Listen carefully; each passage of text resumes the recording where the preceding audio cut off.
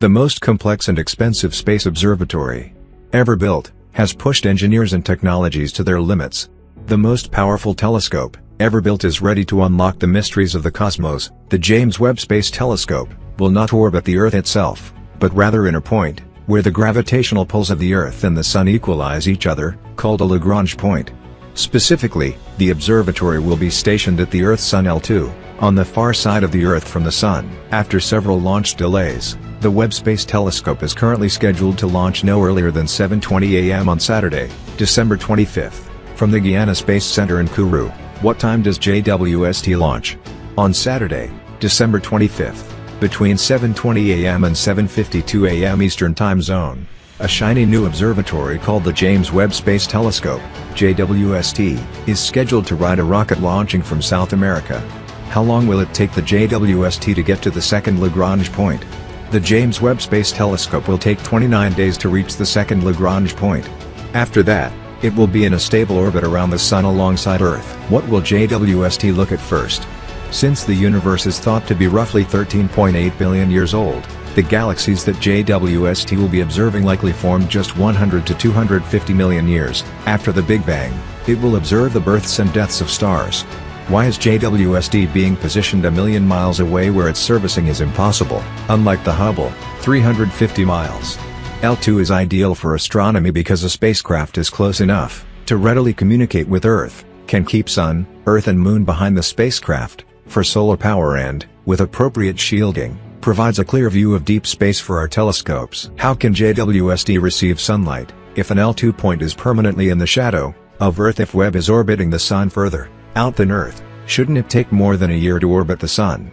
Normally yes, but the balance of the combined gravitational pull, of the Sun and the Earth at the L2 point, means that Webb will keep up with the Earth as it goes around the Sun. The gravitational forces of the Sun and the Earth can nearly hold a spacecraft at this point, so that it takes relatively little rocket thrust to keep the spacecraft in orbit around L2, communicating with Webb. Webb's position out at L2 also makes it easy for us to talk to it. Since it will always be at the same location, relative to Earth in the midnight sky about 1.5 million km away, we can have continuous communications with it. As the Earth rotates through the Deep Space Network, DSN, using three large antennas, on the ground located in Australia, Spain, and California. During routine operations, Webb will uplink command sequences and downlink data up to twice per day, through the DSN. Why do we need JWST if we have Hubble and Spitzer? JWST has a larger mirror to see dimmer objects, and at a better resolution than the other infrared telescopes with smaller mirrors, Hubble and Spitzer won't be working forever. Spitzer was retired in 2020.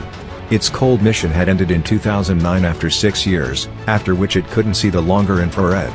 We're lucky in 2021 that Hubble is still working. But it can't see very far into the infrared. How does the JWST see back in time?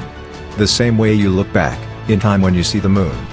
Due to the finite speed of light, you see the moon as it was a bit more than a second ago. If you take an image from the sun, it shows the sun as it was 8 minutes ago. The same is true for stars. The light from the nearest star is more than 4 years old.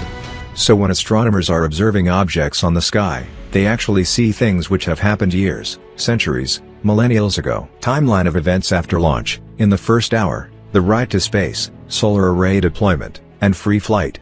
The Ariane 5 launch vehicle will provide thrust, for roughly 26 minutes after a morning liftoff from French Guiana.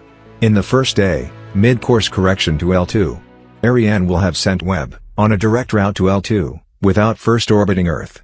During the first day, the first and most important trajectory, correction maneuver, using small rocket engines aboard Webb itself. In the first week, Sunshield deployment. Shortly after a second trajectory is executed, correction maneuver, it will start the sequence of major deployments, beginning with the fore and aft sunshield pallets. The next step is separation of the spacecraft bus and telescope by extending the telescoping tower between them. In the first month, telescope deployment, cool down, instrument turn on, and insertion into orbit around L2. During the second week after launch, it will finish deploying the telescope structures by unfolding and latching the secondary mirror, tripod and rotating and latching the two primary mirror wings. In the second, third and fourth months, initial optics checkouts, and telescope alignment.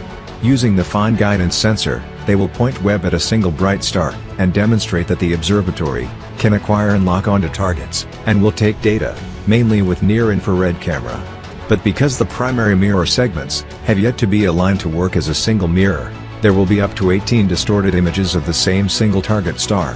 After six months, science operations. Webb will begin its science mission, and start to conduct routine science operations. We will get to see the first images from James Webb Space Telescope. Aren't you excited to see first images from James Webb Space Telescope?